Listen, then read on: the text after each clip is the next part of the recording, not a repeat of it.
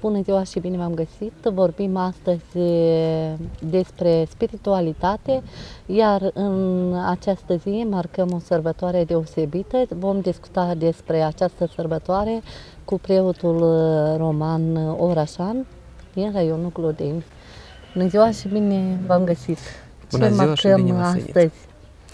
Astăzi este prima sărbătoare din anul bisericesc, sărbătoare creștină, care face parte din cele 12 sărbători mari și este anume nașterea Maicii Domnului. Nașterea Maicii Domnului e, a început să se sărbătorească în biserica e, creștină de prin secolul V. Anume atunci apar primele scrieri ale unor e, scriitori bisericești e, și liturgice și istorice care ne dovedesc faptul că această sărbătoare a intrat în, în uzul bisericesc. Dacă vorbim astăzi despre sărbătoarea aceasta, trebuie să e, punctăm câteva aspecte care le vom e, încerca astăzi să le lămurim vizitatorilor e, noștri. Deci, aspectul istoric, e, însuși încărcătura, e, să zic eu, biblică și învățătura bisericii despre această sărbătoare în sensul ce folos sau ce tangență are cu viața fiecărui creștin. Deci să începem de la prima, de la istorie. Sfânta Scriptură ne dă foarte puține informații despre Maica Domnului, în special din start vreau să subliniez faptul că în Sfânta Scriptură nu se vorbește despre nașterea Maicii Domnului. Acest lucru Sfânta Scriptură nu, la, nu ne l-a adus, nu ne informează, dar Biserica cunoaște din scrierile primilor secolele ale creștinismului din așa numită proto-evanghelia lui Iacov despre nașterea Maicii Domnului. Deci, informația care o avem din această proto-evanghelie, într-un nimic nu contrazice învățăturii bisericii, de aceea se consideră de toți tălcuitorii ai Sfintei Evanghelie și toți teologii creștini ca o informație veridică. Deci, în această proto-evanghelie de la Iacov, se vorbește despre Sfinții Părinți Joachim și Anna, adică cei care au fost părinții Maicii Domnului, care ar fi ajuns la o vârstă foarte înaintată și n-au avut copii. Ceea ce în poporul ales sau poporul iudeu se considera ca o pedeapsă de la cel de sus, de la Dumnezeu și mai mult ca atât ca un blestem.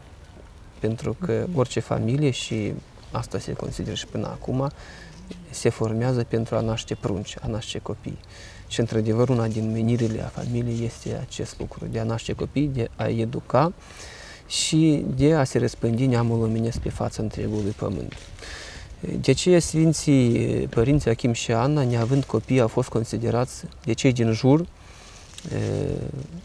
ca oameni blestemați, ca o familie într-o ceva Nefericită. nefericită, da, pentru că Dumnezeu i-a lipsit de, la acest, de acest dar mare de a avea copii. Și anume evenimentele legate de nașterea Maicii Domnului ne vorbesc că și dreptul și Sfântul Iachim, ca un bine credincios, bun, a venit și el la templul din Ierusalim ca să aducă jertfa cuvenită care trebuiau să o aducă fiecare iudeu la vremea cuvenită. Și acolo jertfa lui a fost respinsă de către preot și ca argument preotul i-a zis, pentru că n-ai copii, înseamnă că jertfa ta nu este bine plăcută lui Dumnezeu, de aceea nici nu este nevoie să o primesc. Sigur, ne dăm bine seama cum s-a înțeles acest om.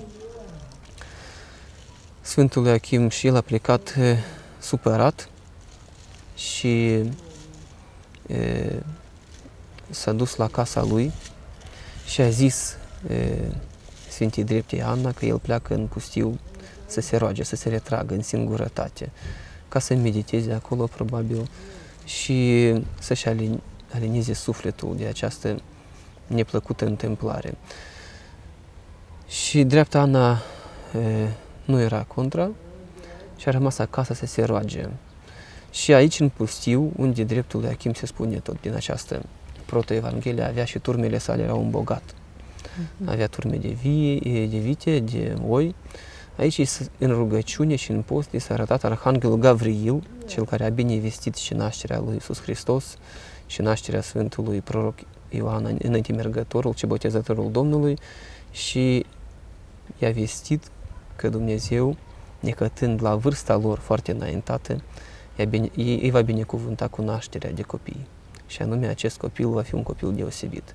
Și atunci Iachim i-a promis lui Dumnezeu prin îngerul că acest copil va fi e, adus la templul legii și va fi închinat lui Dumnezeu. Adică ei, într-un fel, ca să vorbim pe înțelesul nostru, nu că se dezic de datorilor părintești, dar îl consacră și îl consideră acest viitor copil ca un dar de la Dumnezeu. De aceea consideră că acest dar trebuie întors lui Dumnezeu și cum se e, practica pe atunci, ei au decis să-l, să dea pe Maica Domnului în, edu- în educație în templul din Ierusalim, ceea ce s-a întâmplat. Tot așa și Sfinte și Drepte Ana este arătat Îngerul Domnului care i-a vestit și ei această bucurie și nașterea Maicii Domnului a avut loc de la împreunarea lor. Deci unii, preluând această învățătură, să zic eu, greșită, care vine din Occident, în special de la Biserica Romana Catolică, consideră că Maica Domnului a fost și ea zămislită fără participarea bărbatului și femeii, adică cum a fost și zămislit Iisus Hristos de la Fecioara Maria și Duhul Sfânt. Nu este așa biserica. Învățătura bisericii creștine ne vorbește că ea a fost zămislită în mod normal. Sigur că Sfinții Părinți, la așa vârstă, Iachim și Ana, pentru că aveau peste 80 de ani, nu mai aveau acele pufte trupești, cum le are omul la vârsta mai tânără. Această zămislire a fost și ea minunată în felul său. De ce? Pentru că a fost lipsită de această poftă trupească. A fost e, scopul ei, anume adevăratul scop a trăirii în familie, adică a naște prunci. Și Dumnezeu i-a binecuvântat că au născut Fecioara Maria, care este începutul mântuirii noastre, cum o numește biserica. De ce? Pentru că din ea s-a întrupat Fiul Dumnezeu, din ea a venit pe pământ Dumnezeu cuvântul și a înfăptuit această e, mare lucrare a mântuit omul luminesc prin moartea sa și prin învierea asta, prin biruința asupra morții. Ați spus că ea este cea mai mare sărbătoare de la începutul anului bisericesc.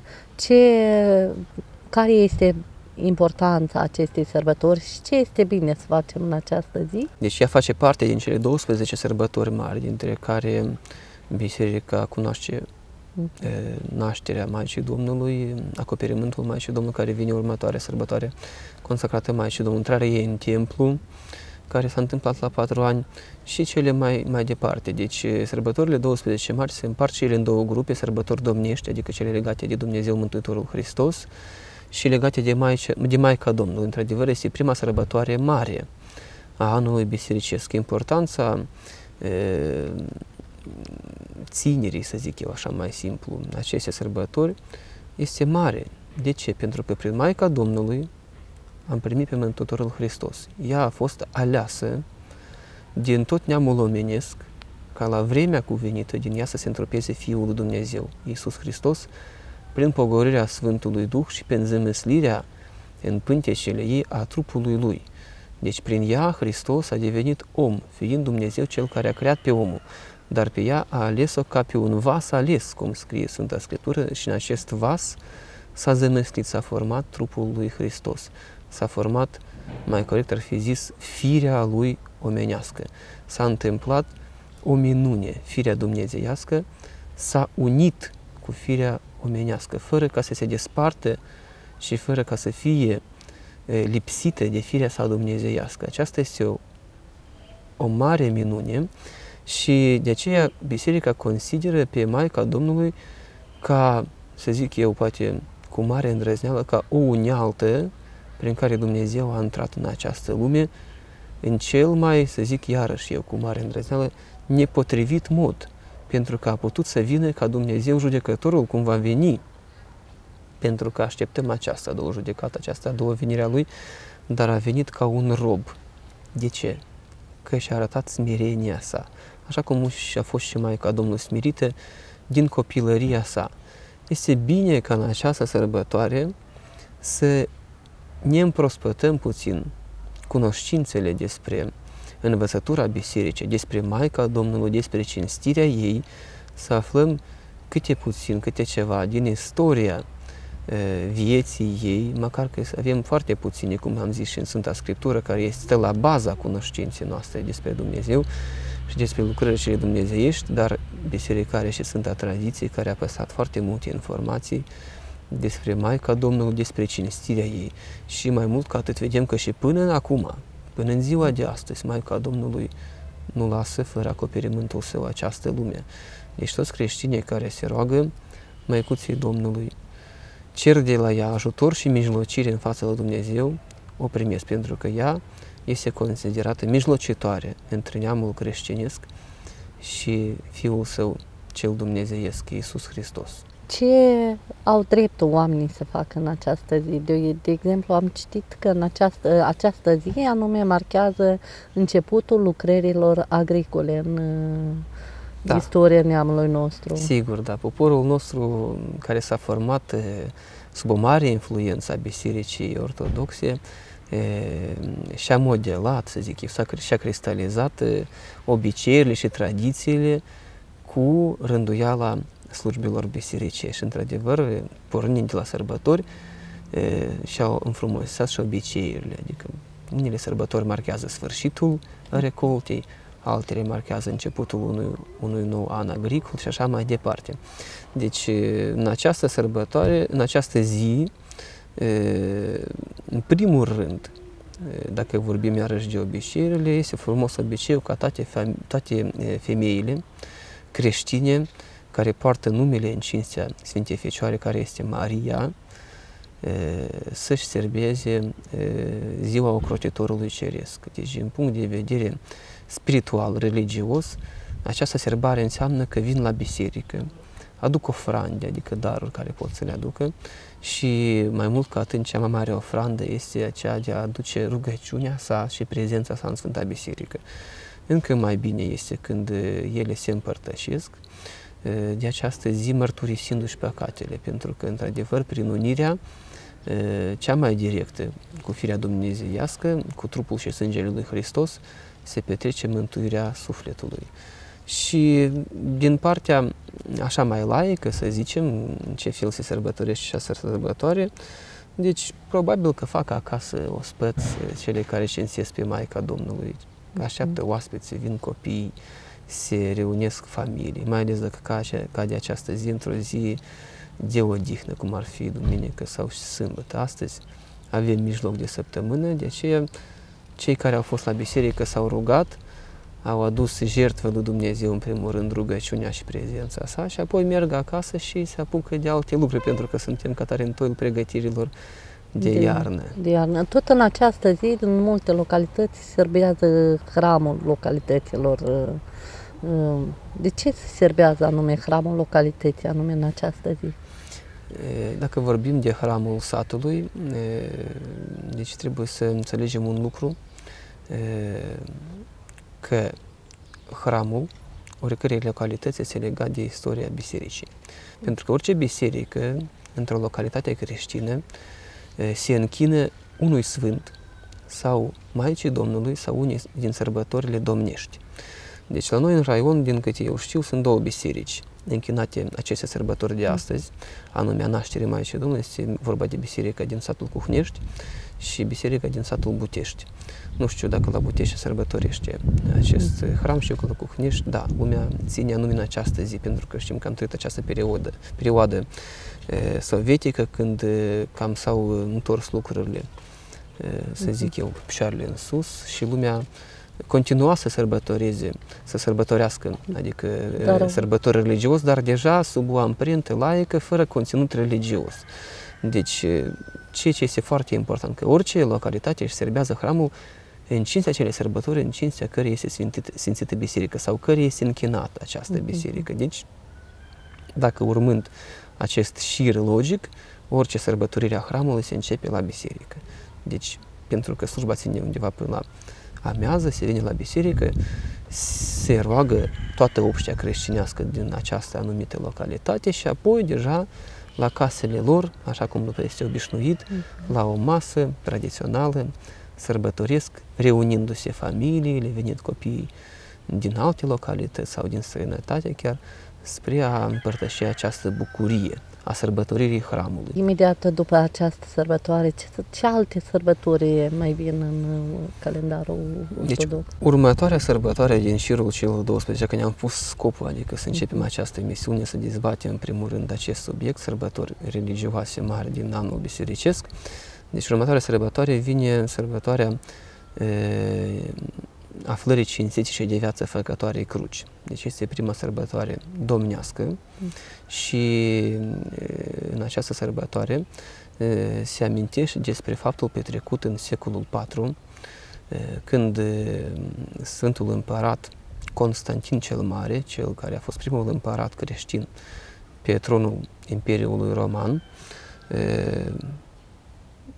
a organizat o expediție, să zic eu, care era în, în fruntea căreia se afla mama lui, Sfânta Împărăteasă Elena, fiind la o vârstă destul de înaintată și această expediție lucra în orașul Ierusalim și scopul ei a fost de a găsi sfântă și de viață făcătoare cruce.